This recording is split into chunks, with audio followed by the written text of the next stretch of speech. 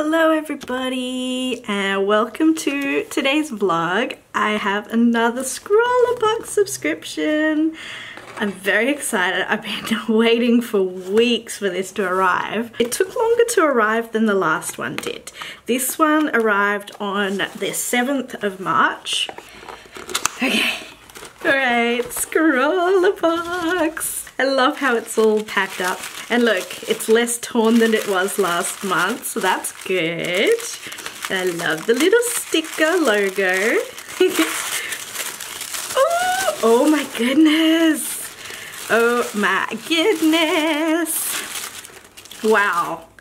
So first of all, there's a little heart lollipop fruit flavor boiled sweet. So that's nice. I didn't eat last month's sweet, but maybe I'll eat this one. Who knows? Okay, and let's see. Oh, a Toma acrylic marker. Toma art. That's very pretty. Okay, chisel tip. Pentel Fiesta. Oh, a mechanical pencil with an eraser. I haven't I haven't had one of these for a while, so it'll be interesting to see how it compares to last week's, last month's graphic um, graphite pencils. Some Seawhite of Brighton artist quality brushes. So I guess Scrawlrbox must have a um, must have a deal with Seawhite of Brighton because last month their little notepad was from Seawhite of Brighton. So these are very stiff, so they'll need a wash before use. Um, but yeah, it's a nice little selection. Acrylic paints. Amsterdam All Acrylics Standard Silk Series. This is Lamp Black, Raw Sienna, Vermilion. That's very orange. And Nickel Titanium Yellow. That's very lemony. I like that. And of course we've got the sticker logo. This month we've supplied you with everything you need to create a masterpiece in acrylics. We have even included a real, quote unquote, palette to mix the paint on. Oh, that's interesting. Um, where's the real palette? Here, quote unquote real palette. It's on card. Um, okay, with the help of Anatomix, we are providing you with the tools and inspirations to get creative with acrylics. So if this is a new beginning or old hat, test out the materials and see what you can create.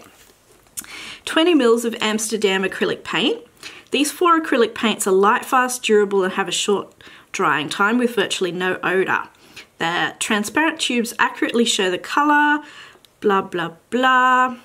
Okay, Toma acrylic marker. This chisel tip acrylic marker is suitable for all types of surface, providing a different way to apply paint. Blah, blah. Water resistant once dry, that's great. Um, small collection of synthetic brush sizes and shapes, selection of tools. Be sure to clean your brushes with soapy water. Never let your acrylics dry in the brushes. Yep. Pentel Fiesta Mechanical Pencil, a great little automatic pencil to sketch out your initial layout before breaking out the paints, okay? Click the lid to extend the lead, obviously, and turn it over to util utilize the eraser, very handy. And Fabriano, Fabriano? Pittura, 400 GSM paper, okay. This heavy duty paper is made with prime quality cellulose pulp, acid free, guaranteeing inalterability over time. Oh, that's good. The paper has a natural grain surface and is designed especially for acrylics. So that's quite nice. It's, um, yeah, it does have a nice grain. Sort of liney this way. Reminds me a little bit of um, watercolor paper. It's quite thick and okay for for especially for acrylics interesting and the Scrawlr Challenge is New Beginnings. Hmm. Use this palette to mix your paints, but don't use the brushes to blend them. Cut the corners off this sheet and use those to create your new colors. Okay, so you'll have to cut these off and blend the colors using those. Well, that's interesting. That'll be a fun little exercise. And this, of course, is the artist. How beautiful. It looks like it's been painted on real wood and then a photograph has been printed. How gorgeous. A nice little acrylic bird. So that's using black, white, yellow, raw sienna maybe, and vermilion. We don't have a white in this kit, so that's missing. But that is very beautiful. I wonder if this symbolizes new beginnings. Hmm. Featured artist, Anatomix. Previously a musician, sound engineer, and DJ, doing occasional illustration works. Work, gosh, I'm reading badly today. Anatomix decided to make her art her full-time endeavor in 2010. She spent the last six years developing her style and narrative and produced her first solo show in London in Feb 2015. She creates symbolic modernist works inspired by philosophy, theology, mathematics, and science fiction. Hello, lady after my own heart. And has become particularly well known for her large scale murals, distinctive polygonal animals, polygonal, polygonal, and geometric patterns. Anatomix.com. And you can follow her on Facebook, Instagram, and Twitter. Cool. So here's where I got down to testing the supplies. Um, the first one I tried is the Toma marker and I really, really like this marker. It's super black, it's juicy, it's not hard to get the ink out. And the second thing I tried was the um, the mechanical pencil, uh, which is fine. I mean, um, I don't think I'm a big fan of mechanical pencils. I think I like really nice, smooth graphite rather than mechanical pencil. It just feels a bit clicky for me. Uh, the eraser works fine on it, but it's not not super great. So the paints felt great to use. I was not a big fan of the colors they chose. I really hate working with browns, and because they didn't have a white, it was really hard for me to mix any sort of colors that I was happy with.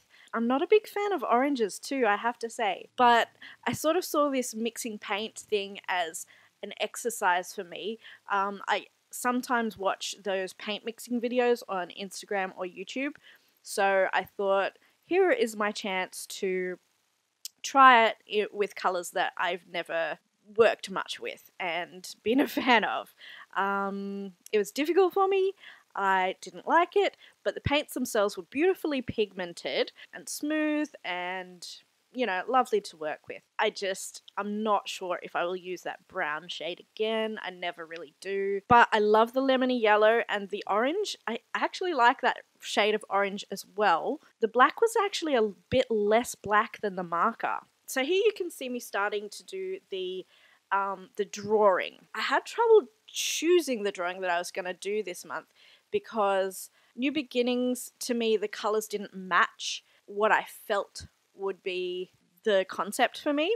So in the end, I was a bit inspired by um, 70s pop art, circa 70s Sesame Street pinball machine, or circa um, 60s Roy Lichtenstein maybe. And I thought I would do uh, a face that I kind of have always done. I, I always do this face as a cup sort of thing, hollow head with um, with stuff coming out of it. I just always have since high school. It's been a doodle that I do. A doodle that I do. so I thought I would do that with New Beginnings coming out because for me, um, the past few years actually has been uh, full of new beginnings in terms of mental health and recovery, and life seems to be going up as well, which is great. Um, so, yeah, the concept was lovely to work with, but not so much the colours. Anyway, so here you can see me starting out doing um, single rays, but then I got tired of that and went, this is bullshit, and uh, covered the whole thing in yellow because I thought, you know, that would be much easier. I tried to, to, to mix a nice skin tone, and then it was hard for me to use the brushes. Uh, not because they were bad brushes, just because the, the shapes they used were a bit, they were harder to control. So maybe not the right medium for them um, and maybe not the right shapes for the particular artwork that I was doing. Yeah, so it was hard for me to stay in the lines. Um, yeah, so I didn't worry about it too much, just let myself make mistakes. Because, you know, at the end of the day, this isn't an artwork that I'm going to be a huge fan of anyway, just because of the colours. So I thought I would enjoy it for what it is a lovely creative exercise in doing something different. And that's part of why I love Scrawlrbox because you never know what you're going to get to play with, and it could be something that you love and are very familiar with, or it could be something that you never have wanted to play with, and you might discover something new. Um, so yeah, it, here you can see me giving up entirely on um, having clean lines and sort of putting some extra texture in the um, the yellow parts because yeah there was no way I was keeping this artwork clean. Here I come back in with the Toma marker. I really enjoyed it. Um, I, sh I should have used a thinner marker but you know you, you use what you get in the sketch box. But yeah you can see it's a really easy to use tool and the black is really pigmented and it's really smooth. Some paint, paint markers I have used in the past, um, the, the paint, you know, you're really struggling to get paint out of it. So yeah, big fan of the Toma marker. And there is the finished artwork. At some point my video stopped working, so you didn't see me coming back in with the mechanical pencil and doing all those scribbly details. I just used it to create a bit of shading on the face and I, I tried to use it to do flame details in the sun rays and clouds coming out of her head, the side of her head. That is where I would have loved to have some white in the package, people. Uh, I was really, really missing having some white paint because that would have made life so much easier. So there you have it. There is my Scrawlrbox challenge for the month, New Beginnings, and I hope you enjoyed my video. Thank you so much for watching.